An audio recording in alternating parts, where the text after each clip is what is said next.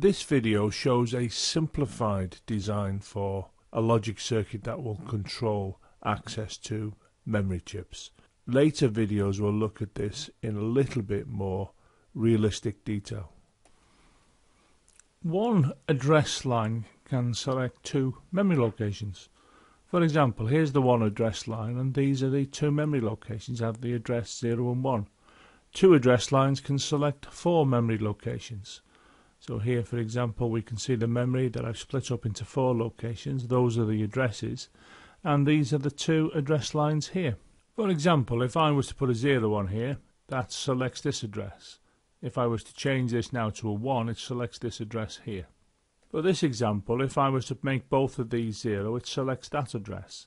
If I was to make this 0 and 1, this would select this address here. If I was to make the address lines 1 and 0, it select this address, and if I was to make them both 1 it would select that address there. Now if we look at this example here we can see there's one address line and if we want to know how many locations we raise 2 to the number of address lines as you can see here and that means we have two locations. This example we can see we have two address lines so we raise 2 to the power 2 where that's the number of address lines and consequently we can work out that we have four locations in this particular case. Let's draw a schematic representation of an address bus here. So I'll label this up as the address bus. And I'll put a line through there and put an 8, which means we've 8 address lines. Now that means that we are addressing this memory chip. And consequently, we'll have 2 to the 8, which gives us 256 locations. So in this case, if we've got an address bus with 8 lines, it will allow us to address one of 256 memory locations. So if I draw another schematic representation of an address bus and I say it's got 10 lines, well that's going to allow us access to a memory location that has 2 to the 10 or 1024 memory locations from the top to the bottom here. And that's because the address bus we can see had 10 lines. Now the first location in this memory is addressed by the following binary pattern, which when we convert to hex we can see is 000. The last location will obviously be addressed when all of the lines are 1, and if I convert that to hexadecimal we can see we have 3FF. Consequently, we can see that the first location is represented by that hexadecimal number and the last location is represented by 3FF. When talking about memory, it's usual to refer to a memory map. And this is quite simply a diagram like this where we show the first and the last location, put a couple of squiggles in between to say there's more locations between these two points, and label the first and last location with the appropriate address. Now this is 1K of memory, which is 1024 locations. A memory map for two 1K memory chips will look as follows. We start off drawing the first chip and then we draw the second chip areas. We label them as appropriate, chip 1 and chip 0 as you can see here. And then we label the first and last address for each of the chips. Now that area is for 1024 locations and this one here is 1024 locations. Now in total we will have 2048 different locations. Therefore we will need 11 address lines to address two 1K chips. Now what I'll do here, I'll draw a schematic diagram of these two memory chips. And I'll label this one chip 0 and this one here chip 1. And I will need a chip select going to each, which is responsible for switching them on. And here I've got my address lines, as you can see here and I'm going to label this as an address bus and say there is 11 lines which go from A0 through to A10.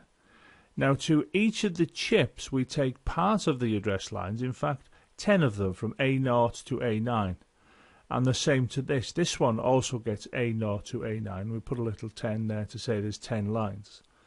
Now A10, which is the 11th line, goes to both chips but in this case it goes through a NOT gate to the chip select. Consider the address lines. They go from A0 all the way through to A10. And what I'm doing here, I'm just starting off at A10 and I'm writing all of the address lines as a header to the binary pattern that I'm going to send on the address bus.